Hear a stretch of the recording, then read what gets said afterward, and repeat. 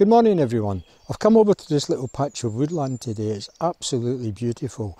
I came out with the specific intention of photographing bluebells today and I couldn't have asked for better conditions. It's a lovely overcast sky giving nice soft light and there's there's no wind to speak of at all. It's absolutely perfect conditions. So I've got my camera, I've got my flask I'm going to spend a bit of time here today, so why don't we head off and see if we can find a nice subject to start off with. I'll get started today by photographing this, this beautiful old tree stump here. It's one of these subjects that just screams out to be photographed. I love the way there's, there's lots of lovely green moss all along the top of it. Then you've got the old, the old wood underneath. One or two bluebells just to add a little bit of colour and the dark green leaves. So I'll get the camera set up and we'll, we'll take a shot of this.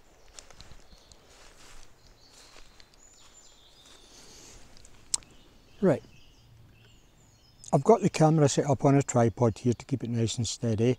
Um, there's nothing complicated about this shot, shot at all. I'm shooting at a 30th of a second, uh, an aperture of f4.5 just to kind of blur out the bluebells in the background to give it a nice, nice kind of soft look and ISO 100. So this is just a very, very simple shot. So I'll take that now and then I'll put it up on the screen so as you can have a look. There we are, that's lovely.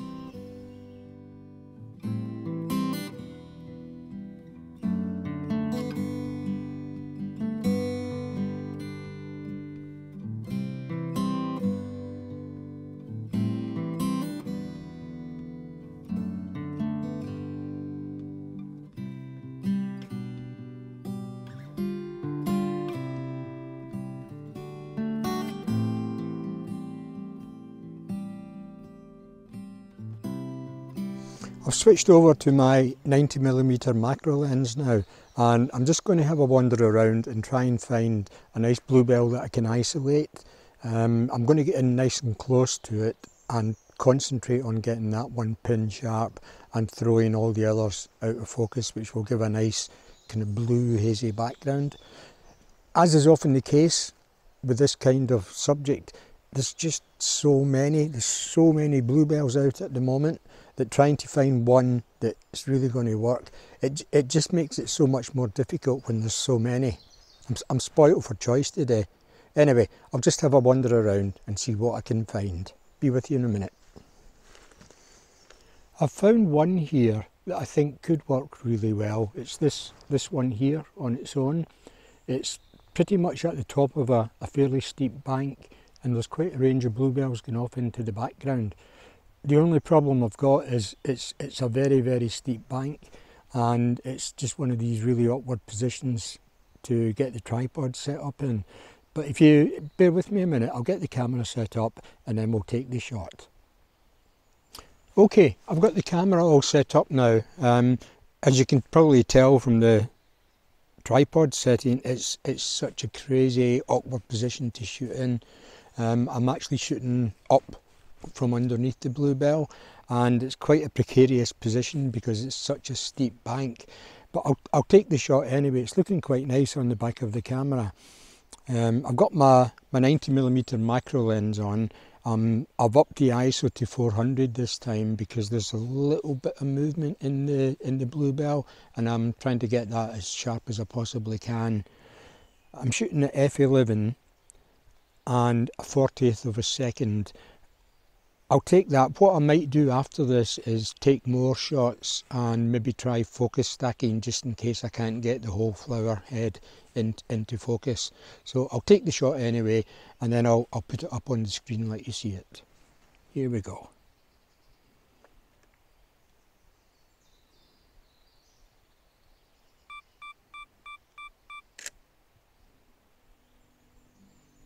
And that looks lovely. I'll put that on the screen now.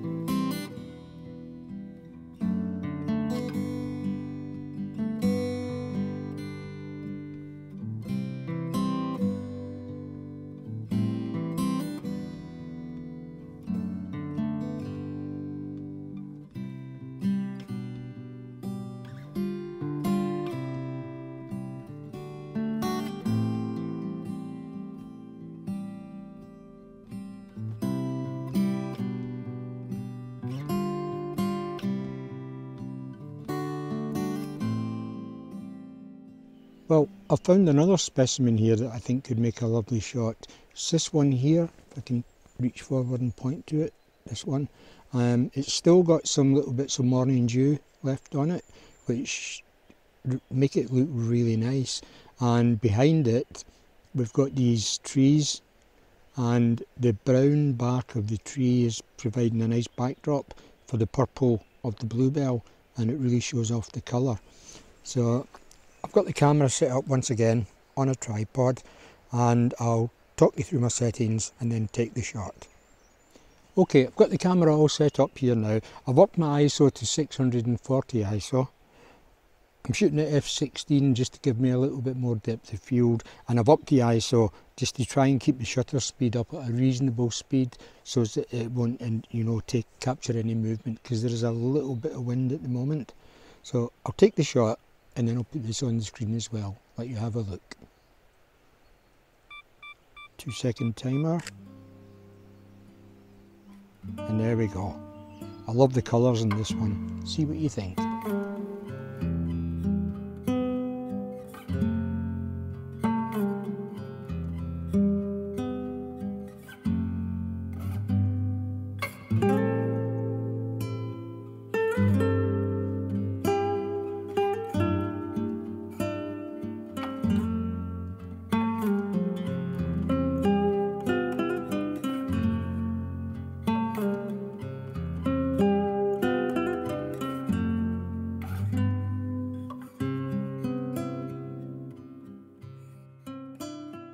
I'm finished for the day now over here. I hope you've enjoyed the video as much as I have enjoyed making it.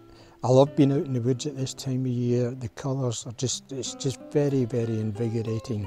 So if you have enjoyed the video, please consider liking and subscribing my channel. That will help my channel to grow.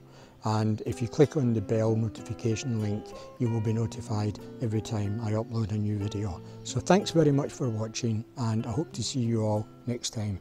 Bye for now.